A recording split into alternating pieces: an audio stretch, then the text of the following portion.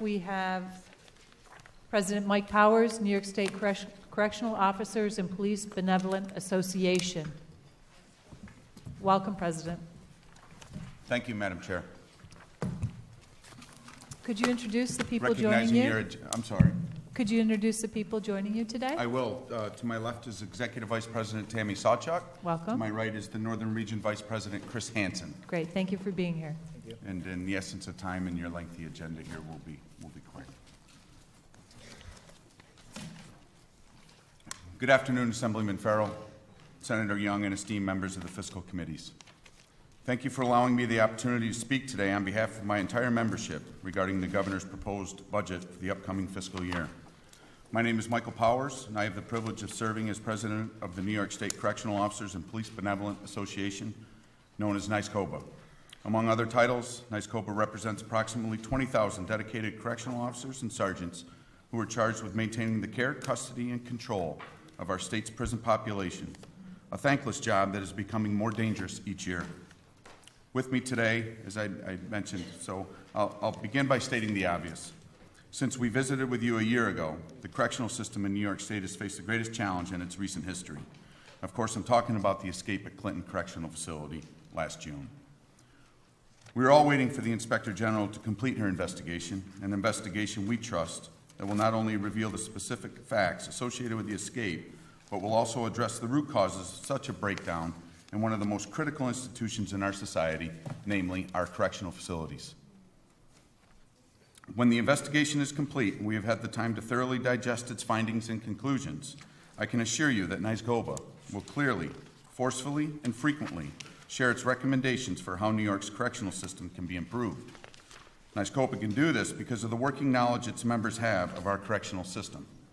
We have shared these recommendations with the administration and with prior administrations, and we will continue to do so until the one goal of every corrections advocate, regardless of political or ideological persuasion, has been achieved. That goal is the dramatic reduction in violence that afflicts inmates and staff alike within the walls of New York's correctional facilities. Some of you remember, may remember our testimony from last year. For the first time, we presented visual displays of the amount of violence that afflicts New York's correctional system. Sadly, I'm duty bound to share an even more troubling display than we provided last year. According to data gathered by the Department of Corrections and Community Supervision, inmate on inmate assaults grew by 6% in 2015 and are up 47% from their low, recent low watermark of 2009. Inmate on staff assaults grew by 20% last year and up more than 70% from the recent low in 2012.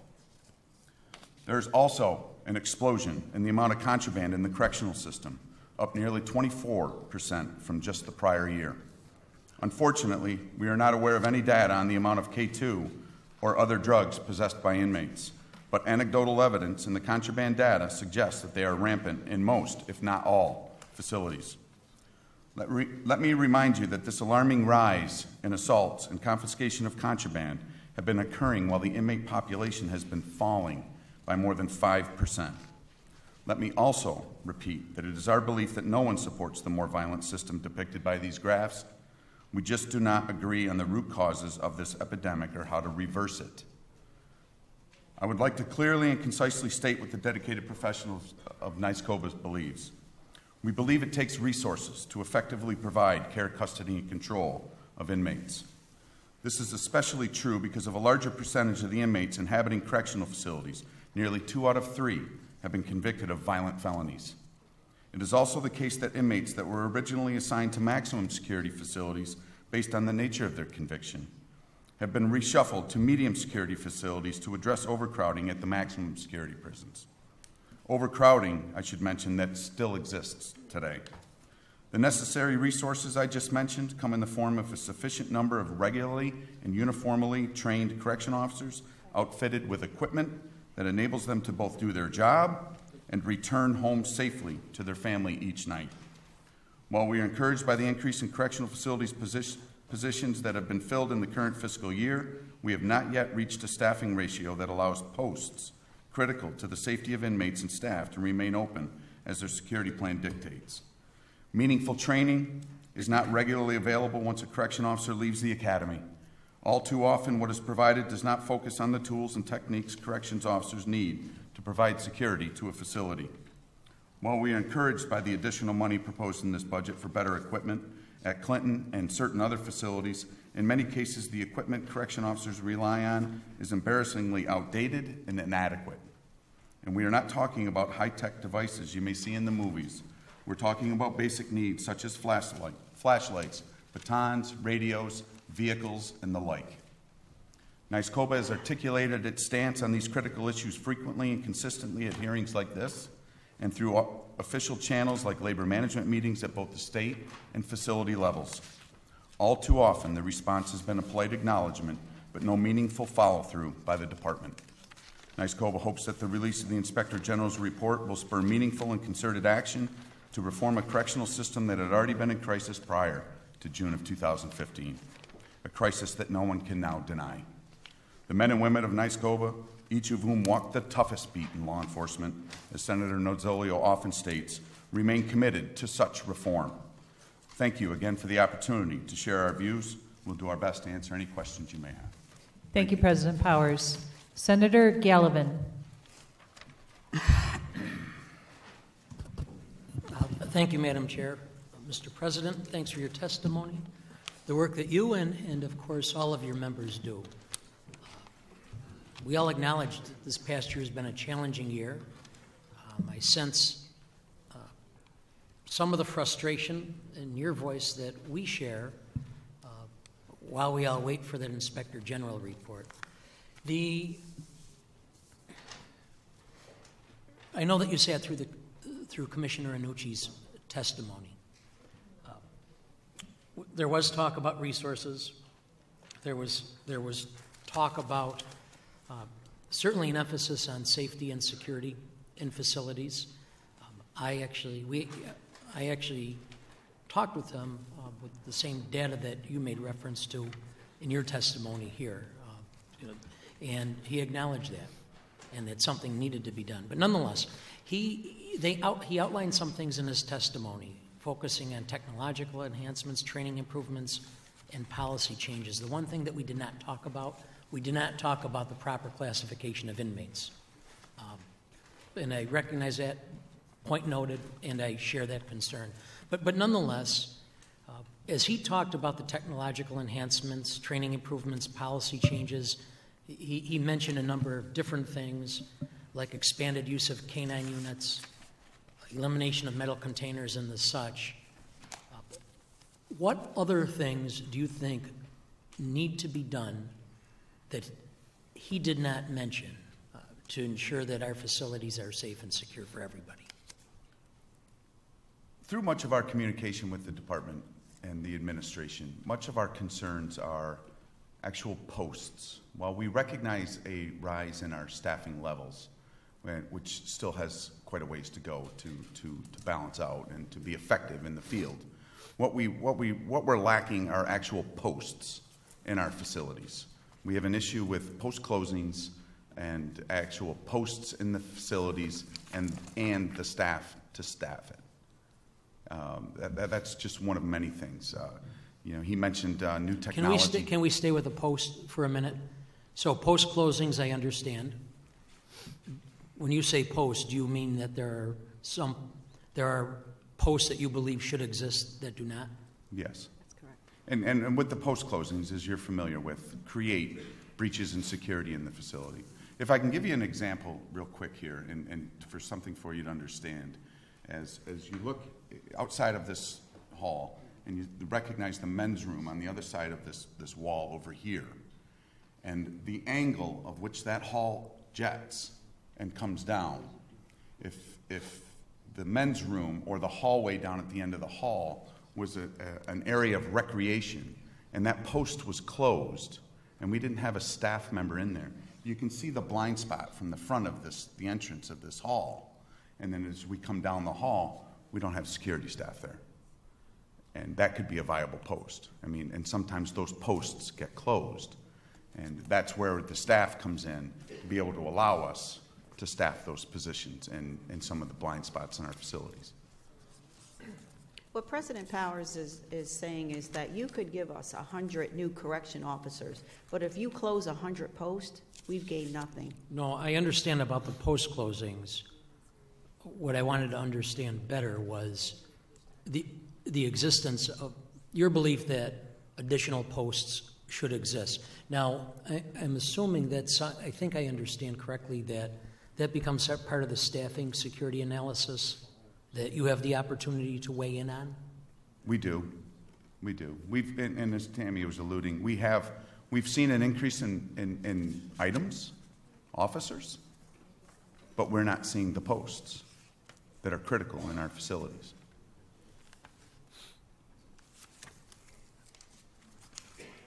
Would you be able to follow up and be more specific for the various facilities?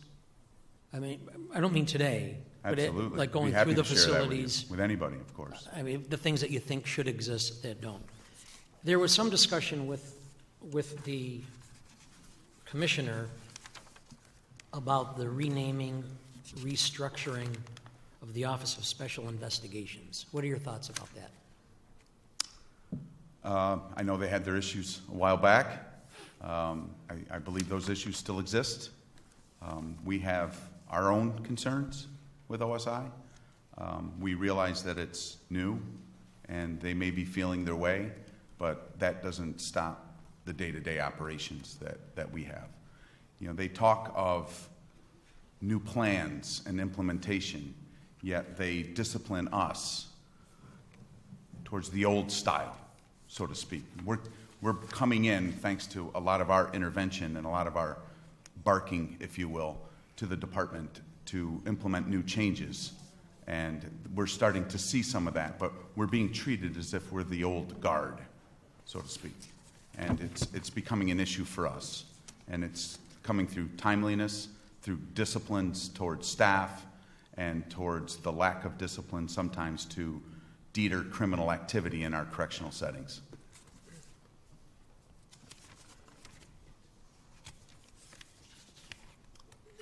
Is it, is it your opinion, or is it, do you have any thoughts on whether or not uh, the so-called internal affairs, for la- lack of a better way of saying it, should be run by the department, or should there be separate outside oversight, as some have proposed? If you have thoughts. We provide care, custody, and control. You know, we're charged with providing that. Um, we have our issues. We share them with the department, um, and, and, and in the interim, until it, it, until we either get the fair shake that we just rightly deserve, then we'll, we'll decide whether or not we proceed forward with any of our concerns. Fair enough. All right, Thank you. Thank you, Senator. Anyone on the Assembly side? Senator Nozzolio. Thank you very much, Madam Chair. Uh, President Powers, always good to see you. Thank you for uh, the work that your members do each and every day to keep us safe. Thank you. Uh, That's not said enough. Uh, It's, I appreciate the, you quoting me, and uh, uh, I hope those words live forever. The fact is, you do walk the toughest law enforcement beat in America. Uh, Your members are uh, put in harm's way each and every day, each and every hour of every day, with no, nothing much to protect them other than their wits and their, your abilities. Uh, There's $47 million of capital money in the state budget proposal by Governor Cuomo to reflect the uh, settlement uh, with the special housing, the SHU settlement, the special housing. Uh, That NYSCOPBA and I worked very closely when I uh, had uh, Senator Gallivan's responsibilities, and uh, closely on the issue of establishing different special housing for those mentally ill inmates. And I must say, NYSCOPBA was terrific in ensuring the seamless transition of that very major program in our state correctional facilities.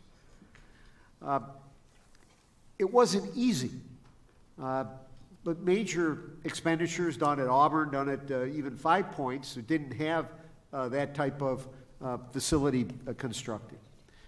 Tell us what types of anticipated concerns or protocols, procedures, safety issues uh, that you see uh, in the development of this new settlement. And uh, just to preface that question with the statement that I understand what special housing has been. It's been to, in many cases, uh, certainly in some cases to discipline, but in many cases to ensure the protection of the inmate. Uh, so, an inmate who uh, may have needed uh, special housing.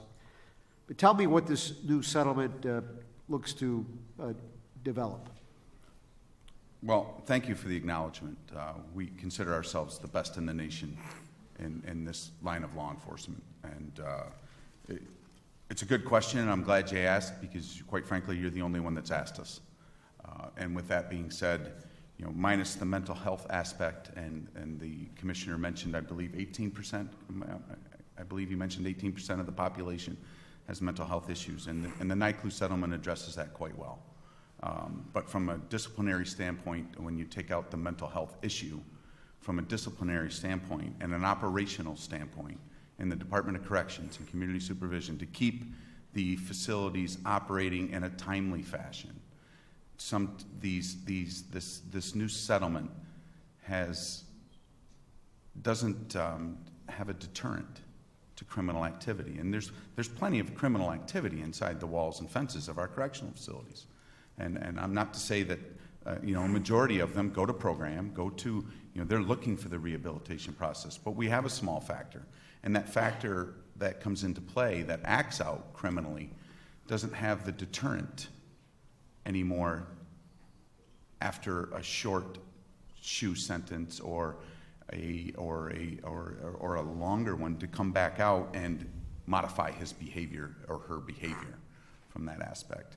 I, I believe Tammy could speak a bit on it as, as well as she's a, uh, a supervisor in a SHU for many years and and uh, we you know I mean we have our concerns with it, but we implement it.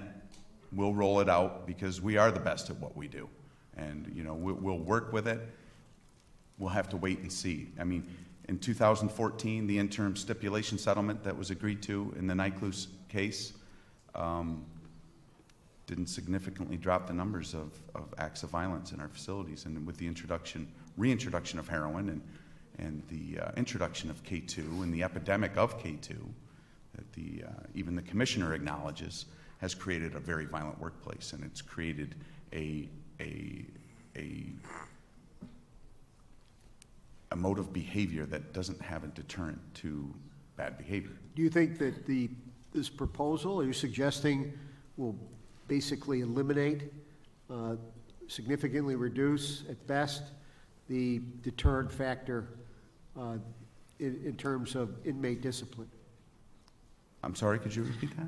This settlement, this proposal to uh, construct additional SH, or to, to retrofit the housing, uh, taking, do you believe it takes away the deterrent tool of, uh, that exists today uh, for deterrence? Uh, Yes. With special housing? Yes. So that, um, and how, to those who haven't worked in our correctional facilities, uh, what does that mean? If there's a criminal act that takes place in the, in the correctional setting, uh, I'll give you an example. If we suspect somebody of using a narcotic inside the facility and we test them for that narcotic, there's usually a, a you know, there could be a confinement, they could be confined from their programs, confined from recreation, confined from certain privileges that they get. Um, not necessarily visitation, but or anything family related. They still have correspondence and everything with that. But from a from a uh, privilege inside the facility, they could lose that. That's being modified significantly at this point with with this settlement, and that is not. You know, we'll continue to see the action. If an individual didn't submit to the urine example, the urine sample, and in the urinalysis, then he, the penalty's not there anymore. So, you know, is there a deterrent for drug use? No. very difficult situation going to be made worse. Makes it very extremely difficult for our frontline staff. Uh, My time is long since up. Thank you very, very much uh, for your uh, work and your testimony. Thank you. Thank you for your Thank you, service to the people of the state of New York. And uh, Best wishes. Thank you, President Powers, and all of you for what you do for us on behalf of the people of New York State to keep us safe every single day. We appreciate you very much. So, thank you. Thank you for your time.